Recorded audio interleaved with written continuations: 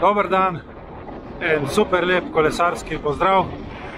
Danes sem se odpravil na eno krajšo vožnjo, da vam povem deset stvari, ki mi grejo pri tem mojem Garminu najbolj na živce. Tukaj je že marec, skoraj pomlad, kakšnih 9 stopinj Celzija, v glavnem sončno vreme. Tukaj doskrat stojijo karabinjeri, jaz jih zmeraj pozdravim, oni pozdravijo nazaj in tako nekako živimo in shajamo v takem sožitju. Mineva točno eno leto, odkar sem ponosni lasnik števca Garmin Edge 830. V več videih sem ga tudi hvalil in še danes lahko tako na kratko rečem, super stvar, zelo dobro dela. Mrsikdo mi je napisal, da se je samo na podlagi moje reklame odločil, da si ga je kupil. Za vse tiste, ki se pa mogoče še odločate, pa je fair, da povem tudi par stvari, ki mi grejo pri tem števcu na živce. Prva stvar, baterija. Od začetka se je dobro držala. Približno 13% sem jo skuril v dveh urah vožnje. Potem, ko sem nabavil še radarsko lučko varja, se je ta performance poslabšal. Zdaj po enem letu opažam, da mi skuri približno 24% v dve urni vožnji. Naprimer, včeraj sva bila s Simonom na eni stotki, porabo mi je 48% baterije, tako da grem danes na pot samo še z 52%. Za mene, ki se vozim skoraj vsak dan, to pomeni, da polnim števc dvakrat na teden. Zato, ker če je pod 30%, si ne upam iti z njim na pot, da ne ostanem brez kakšne vadbe in ga dam pač prej še napolniti. V zadnjem času se je stanje baterije malce celo popravilo, zato ker sem izklopil satelite GPS plus GLONASS in sem pustil samo GPS. Predtem mi je kurlo baterijo še malo bolj. Potem imam tale opomnik za pitje, ki me pametno opomni, kdaj moram piti in koliko. Še posebej pride prav po zimi, ko ne čutiš žeje, da ne dehidriraš, ampak približno enkrat na vsakih pet voženj se zgodi, da ne dela. Na koncu vožnje potem vidim, da je on vmes beležil, koliko tekočine bi mogel jaz popiti, ampak vmes me pa ne opozarja. Nisem ugotovil vzroka, zakaj se to dogaja, tako pač je. Funkcija za sledenje, tako imenovani live track, super zadeva. Moja gospa soproga točno vidi, kje sem na poti in bi mi prišla na pomoč, če bi se karkoli zgodilo. Približno enkrat na vsakih deset voženj se ta funkcija ne sproži. Ponavadi zmeri dobim obvestilo, da se je live track začel, kot sem rekel, vsake toliko se pa pač ne. Jaz potem kar med vožnjo na števcu to funkcijo onemogočim in ponovno omogočim, in potem live track spet dela normalno naprej, kot da se ni nič zgodilo. Na vsaki vožnji, ma prav na vsaki, se zgodi, da števec vsaj enkrat zgubi povezavo z radarsko lučko varja, z mojim senzorjem srčnega utripa, senzorjem hitrosti in senzorjem kadence. To se zgodi zelo na kratko, povezava zgine in se čez kakšno sekundo spet pojavi. Kolega Simon je povedal, da se mu to dogaja non-stop med vožnjo, tako da je celo kontaktiral Garmin za pomoč in zdaj čakam, kaj mu bojo svetovali, kaj bojo rešili.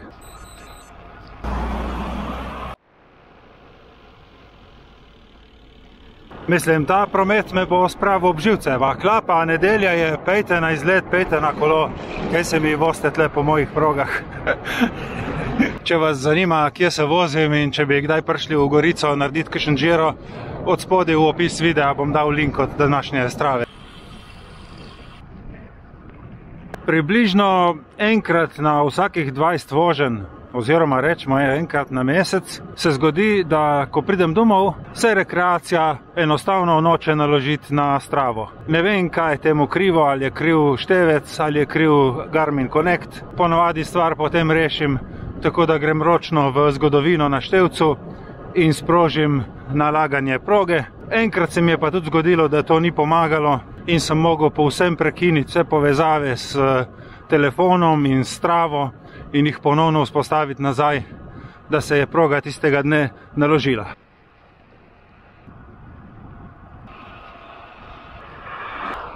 Navigacija v splošnem dela v redu, super, zelo mi je všeč ta funkcija. Vseeno pa je par stvari, ki mi grejo pošteno na živce. Ena je recimo ta, da če imaš vklopljeno navigacijo in da imaš prižgan kakšen drugi zaslonček, se ne vklopi vedno, kadar ti more pokazati kakšen zavoj. Se pravi, če imaš zaslonček od navigacije, ni problema. Točno vidiš roza črto, kam je treba iti in tudi opozori 150 metrov in pa potem še 50 metrov prej.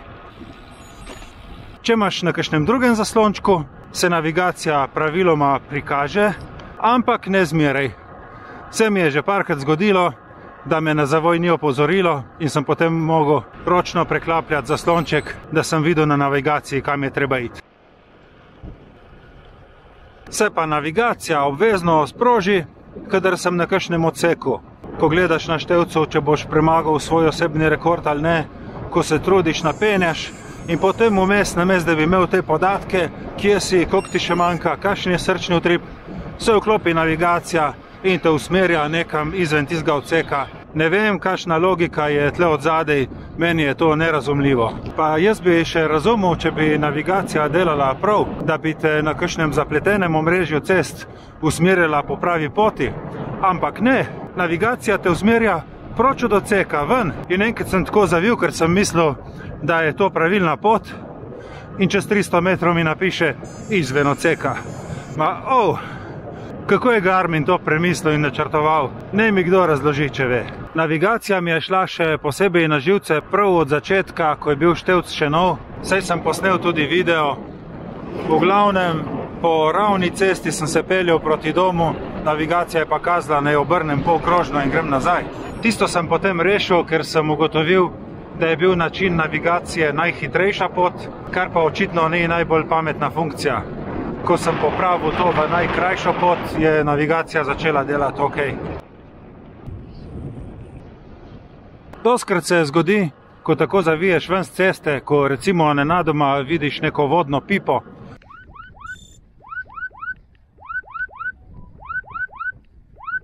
Ali pa zgodilo se mi je tudi že na sredini ceste, ko sem se ustavil, da bom zavil levo, se sproži to opozorilo, kukar da je prišlo do padca, senzori zaznajo ne vem kakšne sile in pospeške in začne potem tuliti tale alarm. Seveda ga lahko prekineš, je pa mal moteče, če takrat nisi padel za res. Bral sem namreč bloge o tem, da so ljudje dejansko padli, pa se alarm na števcu ni sprožil tako da je to bolj kot ne nekoristna funkcija.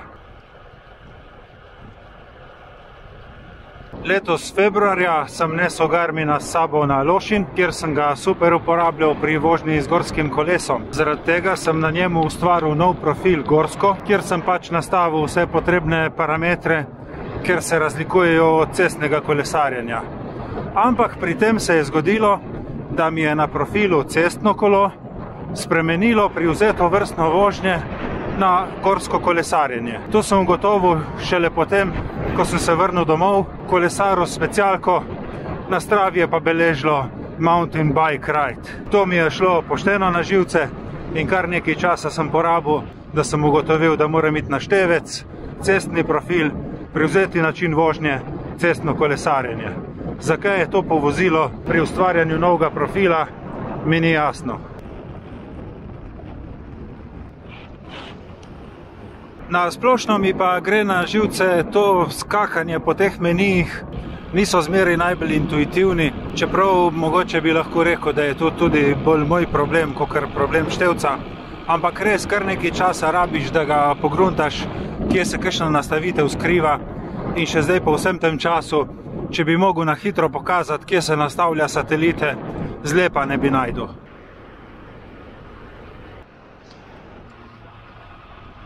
Mislim pa, da je prav, da povem najpomembnejšo stvar in to je ta, da je ta števec še zmeraj čista desetka. Vse te stvari, ki mi grejo na živce, so stvar v moji glavi, pač nekateri ljudje to mogoče sploh niso opazili ali pa so vrgli čez ramo in so rekli, ok, to je to. Če bi pred enim letom še enkrat kupoval števec, bi se 100% odločil za Garmin Edge 830. Bi ga kupil, če bi kupoval danes?